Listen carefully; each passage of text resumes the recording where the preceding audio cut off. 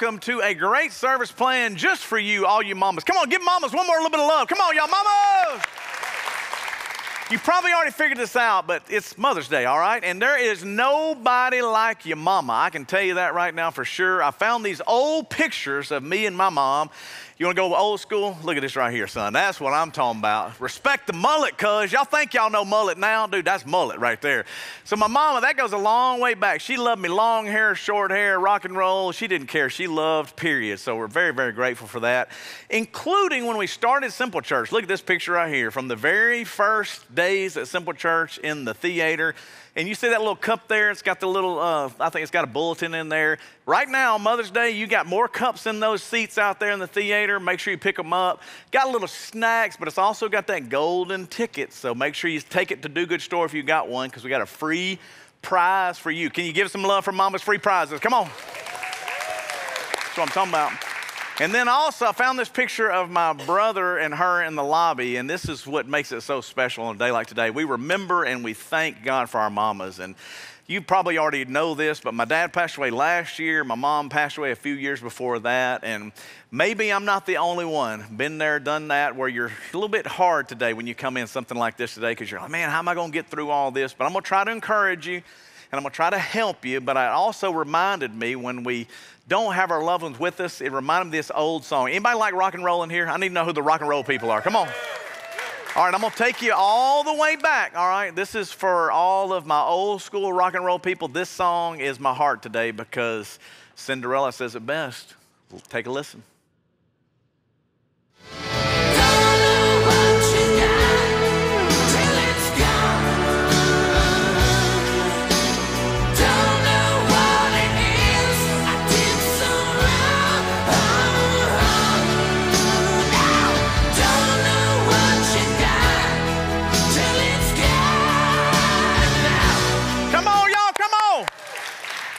Y'all are in shock. You're like, is that Cinderella on Mother's Day? Listen, you got to know the words, man. Don't know what you got till it's gone. That is why we want to appreciate you today. Because, like I said, it's too late for me and my brother to be able to lay our arms around her and give her a little thank you today because she's with Jesus now. We're super grateful for that. But we miss her every day. And that's why I need mamas. Can anybody be my mama today? Come on, where my mamas in here? Y'all try to love on us that don't have our mamas because it's not easy. But we don't want to miss this opportunity. Now, I still have my mother in law, thank God, and my beautiful wife, mother of my kids. Come on, give them some love too. Come on, yes. Love you, Angie. Love you, Mimi. And I want to make sure we appreciate them the way they deserve it because they don't always feel that way. And that's what we're going to talk about very shortly because I'm probably not the only one. You don't always treat your moms or your mother in laws the way you should because it seems like moms get on our nerves. Like when you're growing up, you're like, Mom, Mom, you always have these different things going on. So I found a little comedian to lighten it up a little bit and give us some lessons today. And this is a lesson of what you're not supposed to do, all right? If you got your mama here, don't act like this. Roll that clip. I have no shorter fuse with anyone in my life than I do my own mother. My mom could be like, I'm forwarding you an article about the LA Art Deco movement. And I'm like, why would you do that?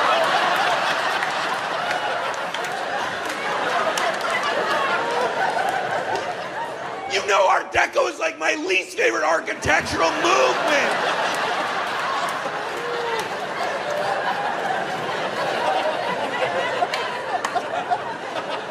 Meanwhile, dads get off scot free. I remember my dad would call me on the phone and be like, hey, son, wanted to come to your baseball game today, but then didn't.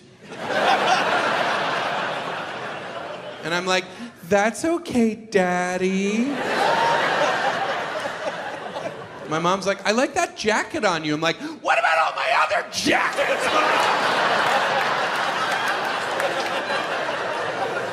What's wrong with them, huh?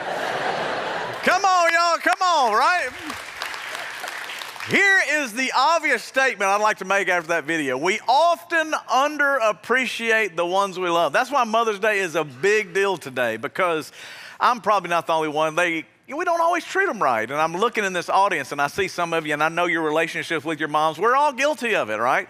Have you ever treated someone uncare, you know, unkind, or you're like, ah, I probably need to be better at this? Well, this is why today's message I think will help you, all right?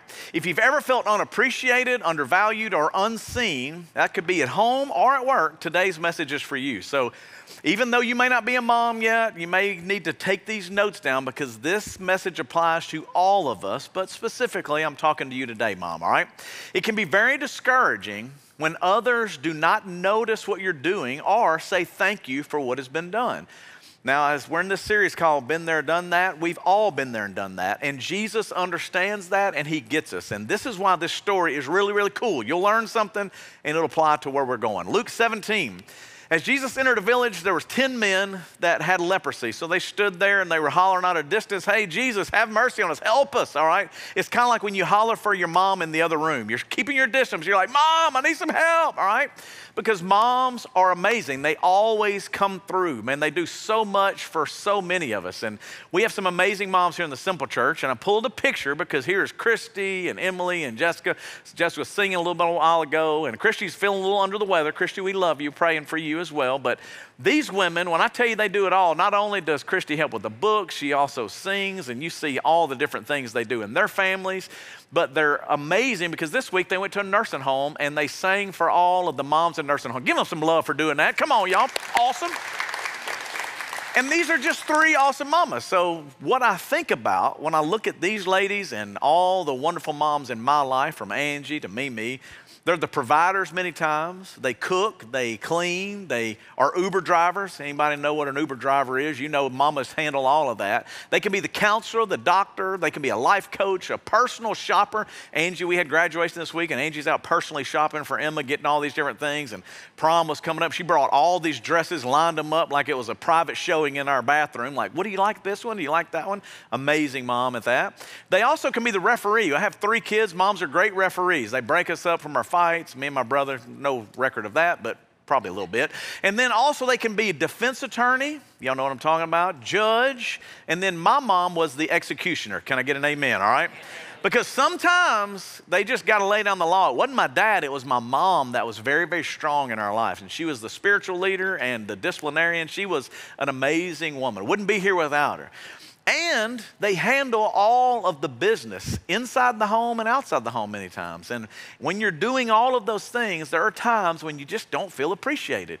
You know, you're like, man, I can't believe that no one recognized all that I have done or all that I've accomplished. And if you feel that way, you're not alone, mom.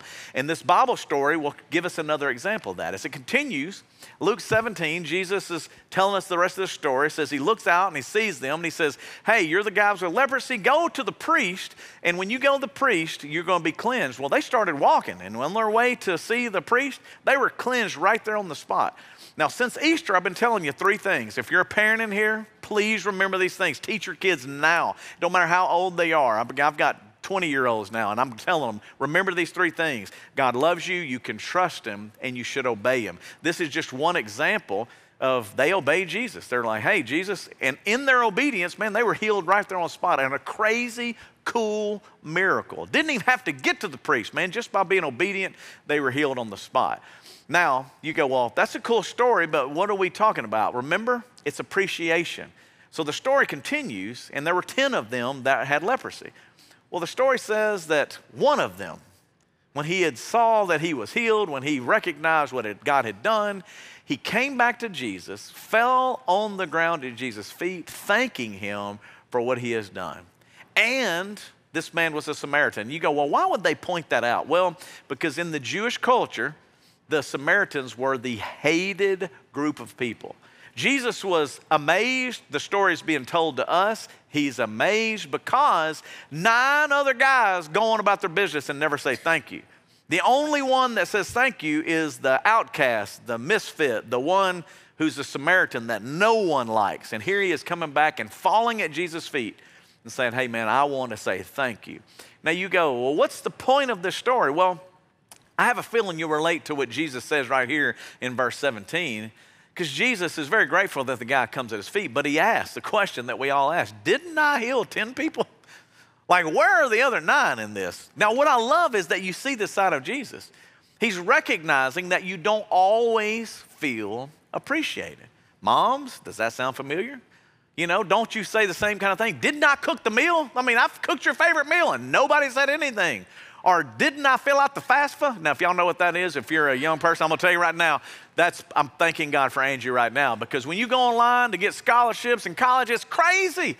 But a mama goes in there and does it. She handles it. A guy's like, I don't know. Dad's like, I don't know how to do all that. Now you got cooking meals, FAFSA, taking care of scholarships and everything else, washing clothes, piles and piles of clothes. And then many of you, as I said before, moms are the provider, man. A single mom out there. And you're like, man, I've not only done all that, I also bought you your first car. I have your car note. I paid your insurance, your gas, your repairs. All this stuff's going on. And in the process, does anybody stop and say thank you? You kind of feel like Jesus, like, hey, where are they? Where are the people to say thank you in this? And I think you can relate to this statement because I know I can. It stings when you're not appreciated. So if you've done everything for everybody and nobody goes, hey man, like I really appreciate that, it can be difficult on all of us, but particularly for moms. And Jesus noticed this. He's saying, man, where are they? You could have at least paused for a couple of minutes and said, thank you for what's going on. But we haven't. And many times we've been there and done that as well.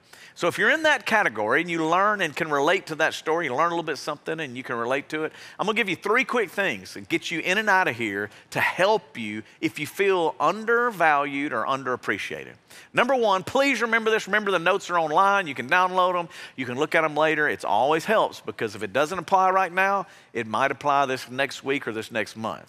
But number one, if you feel underappreciated, how those people make you feel is not who you are. So leave that up there just for a second. Let's just say it's work. Say you're working hard and no one's recognizing how hard you've worked. Say you're a mom and you're at home and nobody in the family's recognizing. It doesn't matter if you're male, female, whatever's going on. There are times when how they make you feel is not who you are. It's kind of like, man, I'm looking for some encouragement and I'm not getting any.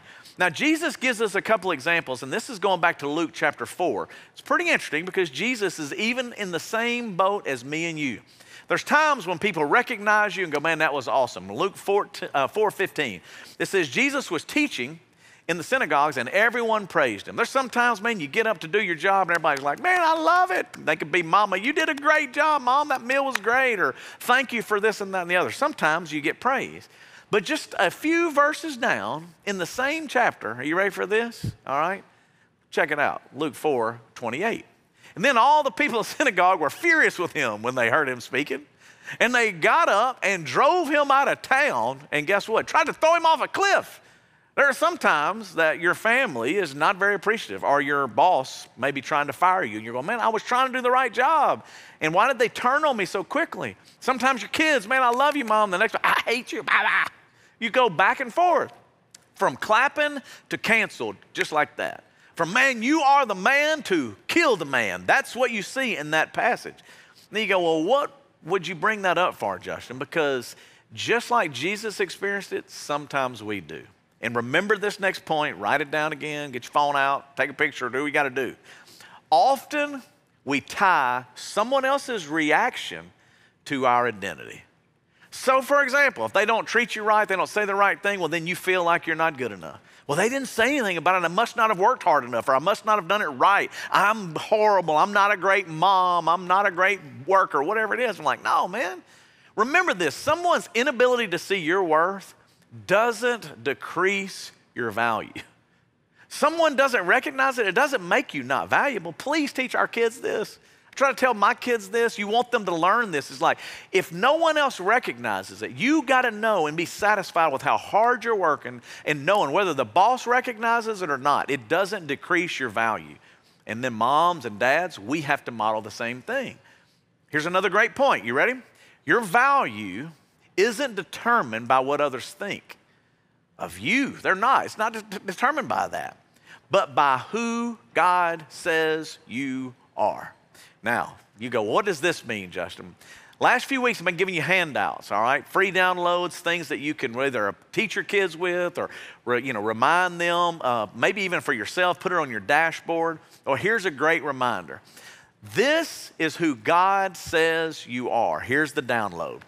And when you look at this list of all these scriptures, It doesn't matter whether someone else sees it or values you the way you think you should, because trust me, we all mess this up. Sometimes it's with our moms, sometimes it's with our friends, sometimes it's with our employees. We don't show you enough value.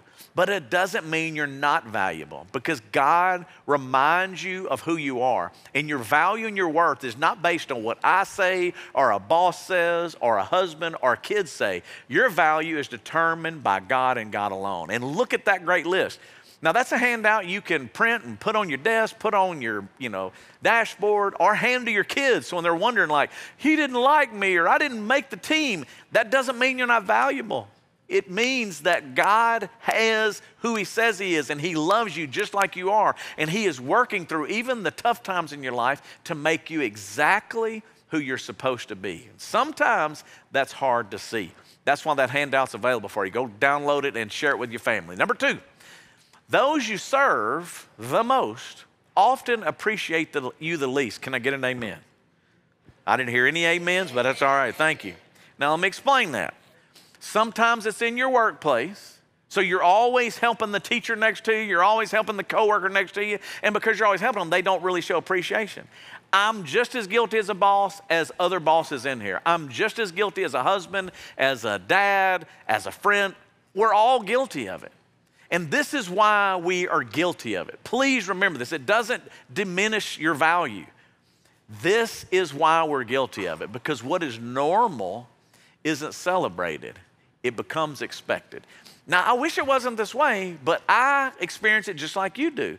So, for example, when I say what's normal, when you do your job well, it's, it's not always celebrated. It's just kind of like, hey, man, you did your job well. So, for example, mom, you clean the house, and it's, uh, you know that you're going to do it well, but everybody's so used to the house being clean, they're just like, cool, house is clean.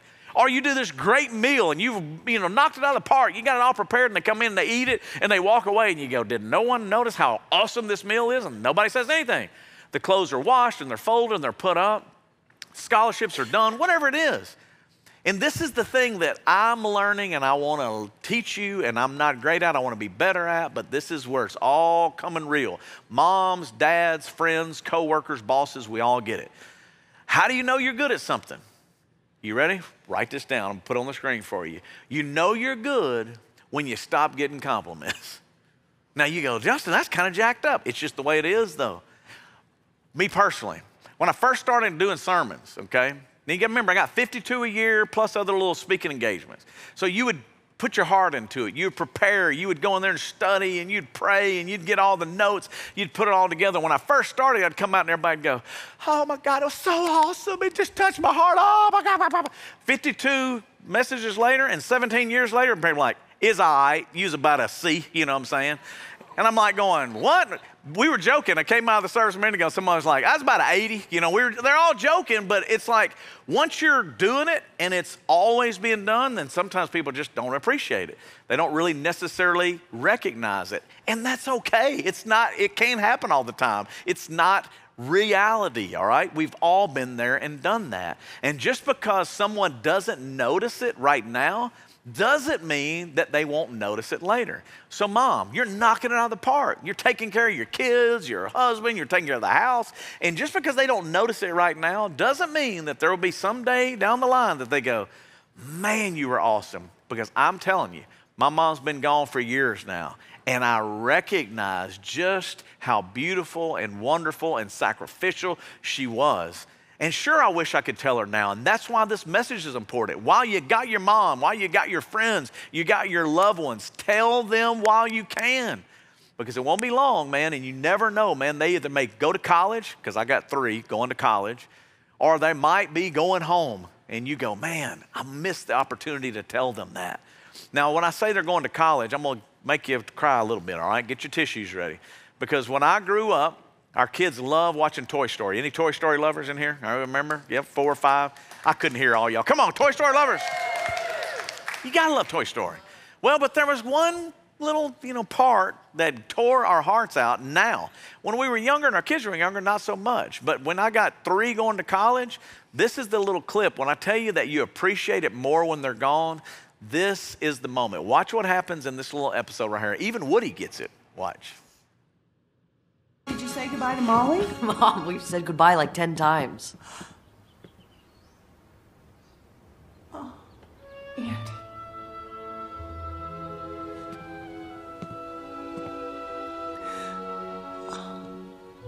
Mom, it's okay. I know. It's just. I wish I could always be with you. You will be, Mom.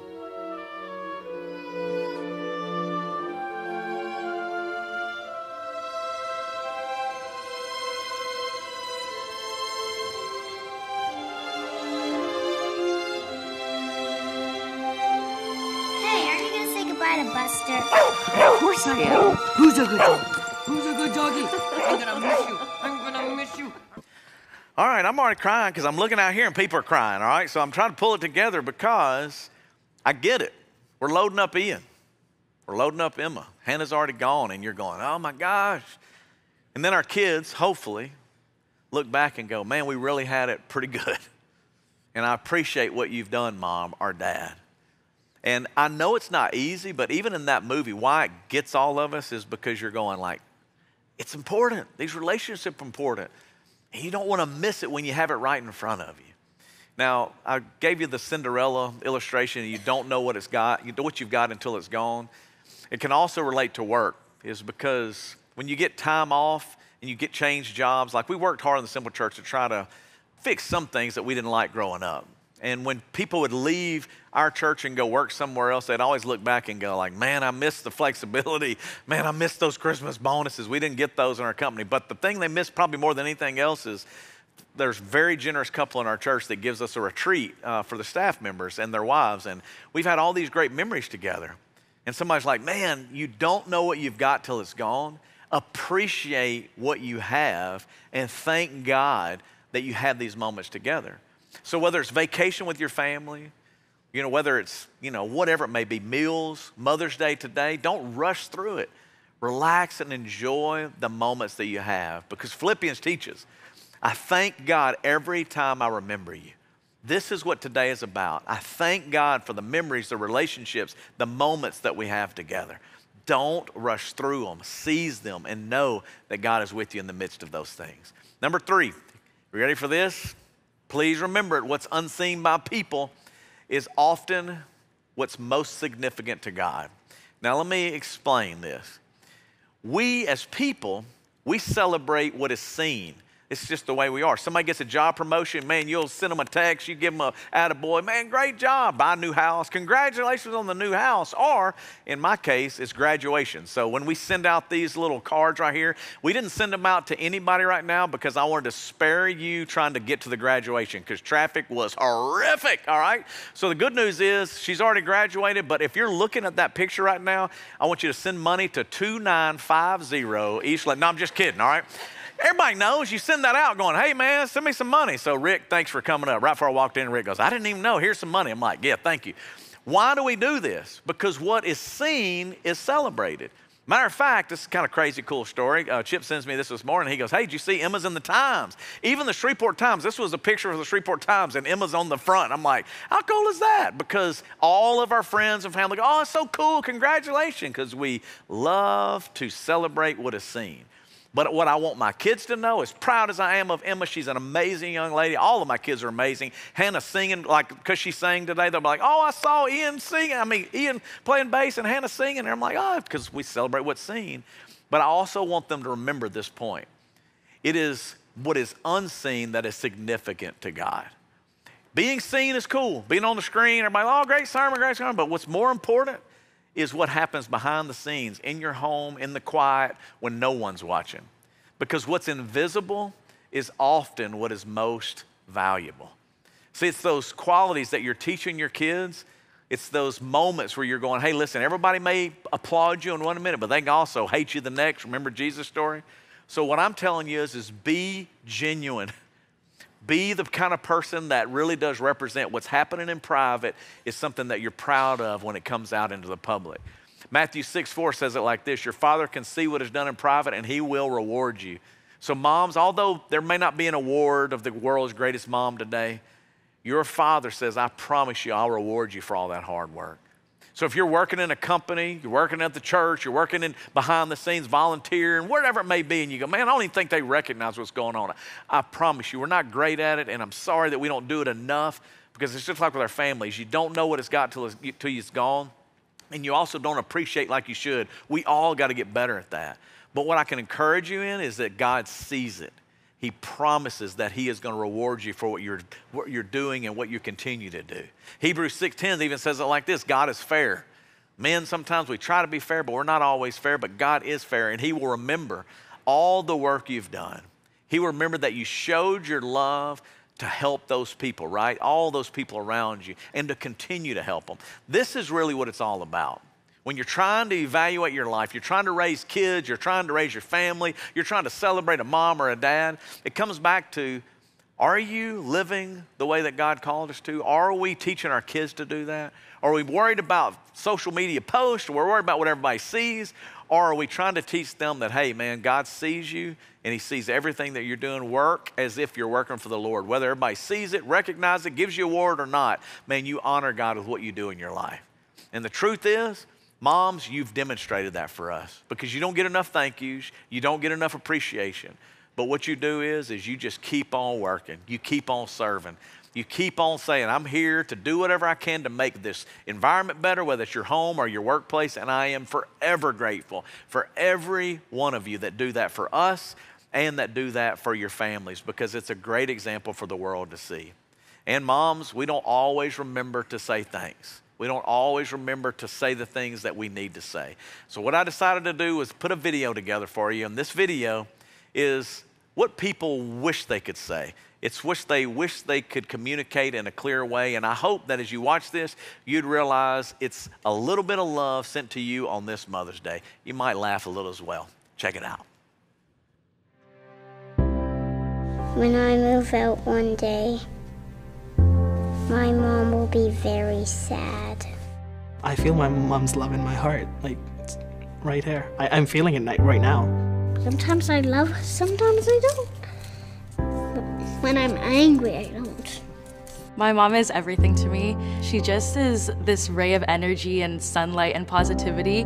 The thing that I wish I could have done more of is thanking her. Didn't matter what shape I was in, I could always come home to mom. My mom was basically the glue that held me together. When I left the Philippines, I knew that my son will be in good hands because I know my mom will take care of him. My mom is behind the smart, you know, dad's mouth. If I would say like 1 to 10, it would be a 5. Maybe my poor dad got the raw end of the deal, but I do remember my mother saying to him when there was an argument about something I'd done, she says, You don't want to hurt her spirit remember that. My mom was diagnosed with uh, a really rare disease about 12 hours before she died. So we didn't get a lot of time to, to talk or to say goodbye, but she did get to say that she loved me, which were her last words. Uh, and I cherish that because it, I have I've been able to hang on to it. I'm probably gonna say to my mom, You're a wonderful person you're my mentor. I tie a invisible string to my heart, and she ties the same one to her heart, and it's always attached together. My mother, she struggled a lot with addiction. Sorry, I'm getting upset. yeah, it was hard. You know, you have partners, you have friends, you have kids, um, but there is nobody else who um, who will ever care about you as much. My son now always tells me, I love you, Mama. But for 48 years, I realized I didn't say I love you to my mom. I can think of three words I forgive you. You were a good mom. You did really good. Thank you. I love you, Mom. Hey, Chelsea, if moms got paid, How much do you think they should get paid in a year for being a mom?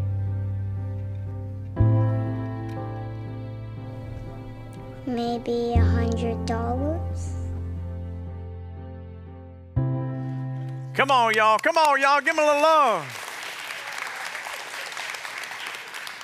I tell you what, I wish I could give every mom a hundred dollars, and I know all of you are like, me too. All right. but what I will tell you is, you're worth way more than this. I wish I could say to my mom how thankful I am for all that she did for me and my brother. I wish that I could clearly communicate to my beautiful wife what an awesome mom she is because I don't always do it like I should. And to my mother in law, I don't always tell her how thankful I am for the gifts that she's given me and my beautiful wife. And then all of my family is impacted by these beautiful ladies. And then I think about all of you who've been a mom to me. There's so many of you in the Simple Church over the years, you're just really, you loved me and you've taken care of me and supported me, whether my mom was here or not. And I'm just super grateful for that. And I want to just tell all of you, thank you. And I pray that each one of you would not miss this opportunity today. When you walk out of here, if you don't have your mom in town, call her, please. No matter what, if even is like this video, say, Mom, I love you and just wanted you to know. If you have them, make sure you enjoy the meal and don't rush through it. Make sure that we seize the moments we have because they really are special. There's nothing quite like your mom. There's nobody like your mom. And today's Mother's Day is our chance to say thank you for that. So I'm going to pray for you and try to get you out of here so you can beat the Methodists. Let's pray. Father, I thank you so much for each and every person, Lord, that they got here today, that they're watching online, that they would know what it means to us that we could get to share Mother's Day together. Lord, what a lot of moms have prayed, just like my mom did, is that our family would be with us in heaven one day. And if there's someone here that has never given their life to you, Lord, I pray that today would be their day so that they could see their mom again. I know I'll see my mom. I know she's with you. I know that relationship with you is what gets her there. And I don't want anybody to miss that reunion. So, Lord, if someone's never given their life to you, I pray today they would. Jesus, come into my life, change me, forgive me. I believe in you and I put my hope and my faith and my trust in you. And I want to be reunited with my family. And I want to be with you, Jesus. And I know you'll hear them and you'll help them.